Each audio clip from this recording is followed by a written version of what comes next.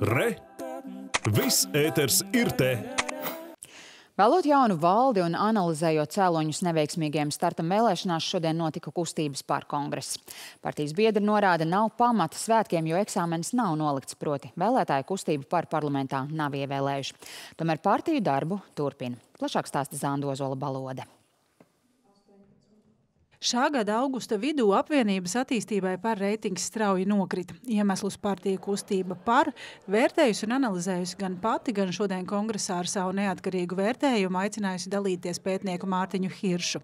Viņš norāda uz vairākiem faktoriem, tajā skaitā neveiksmīgu vēlēšanu kampaņu, kas nespēja nenoturēt esošos atbalstītājus, nepiesaistīt jaunus. Premjera Kāriņa kritizēšana vēlēšanu kampaņā viens no galvenajiem iemesliem, kāpēc kampaņa nestrādāja. Trūka pozitīvu vēstījumu, kā mobilizēt gan pašiem sevi, gan vēlētājus.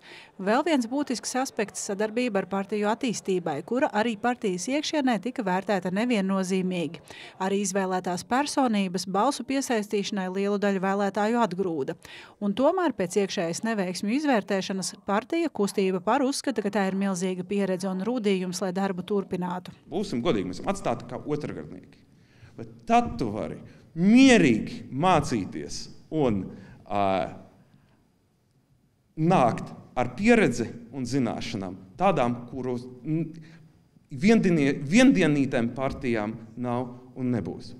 Pēc kāpumiem un uzvarām nāk sakāves un kritumi. Tāda ir pasaules, tāda ir sabiedrības, tāda ir arī politikas daba. Tas, vai būs jauni kāpumi un jaunas uzvaras, ir atkarīgs no tā, vai ir izdodas piecelties kājās, tad, kad ir paklupts, vai izdodas saņemties pēc neveiksmēm. Pēc neveiksmes vēlēšanās iepriekšējā partijas valde atkāpās, tomēr partijas dibinātāji norāda, ka tie neiet prom pavisam, bet dos vietu jaunajiem. Projām neviens neiet, ne es, ne citi dibinātāji.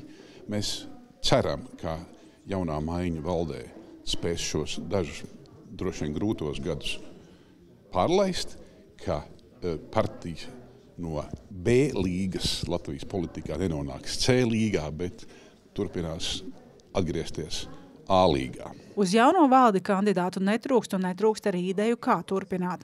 Mums, piemēram, ir ļoti liela kompetence izglītības jautājumos, līdz ar to vienkārši piepildīt ar jaunu saturu, kas vēlētājiem varētu būt svarīgs. Un otra lieta - skaidrot, kāpēc liberālās vērtības īstenībā ir ļoti svarīgas, lai mēs dzīvotu tiešām kvalitatīvā demokrātiskā sabiedrībā. Procesi ikvienā organizācijā, tajā starpā partijā ir ļoti līdzīga procesa jebkurā sabiedrībā. Un man šķiet, ka tas ir tieši tas mans potenciālais pienesums, saprotot to, kas ar mums notiek individuāli un arī kā organizācijā varbūt palīdzēt uzplaukt mums individuāli, organizācijai un ar to arī valstī.